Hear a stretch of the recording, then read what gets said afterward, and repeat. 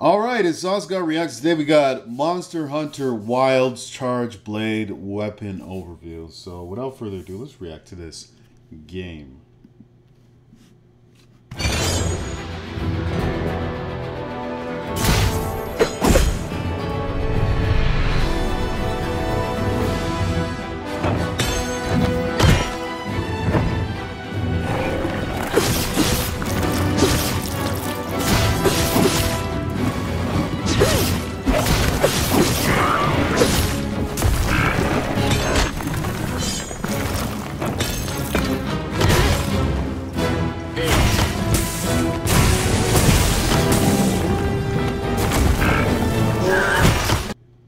I just gotta get over the detail in this monster.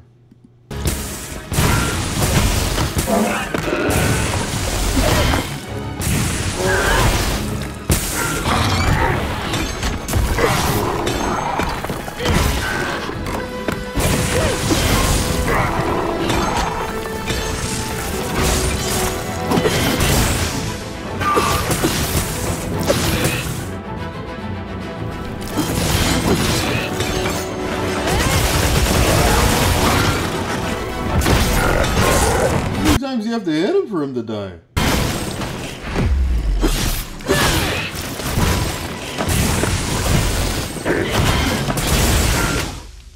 Wow. So this comes out 2025.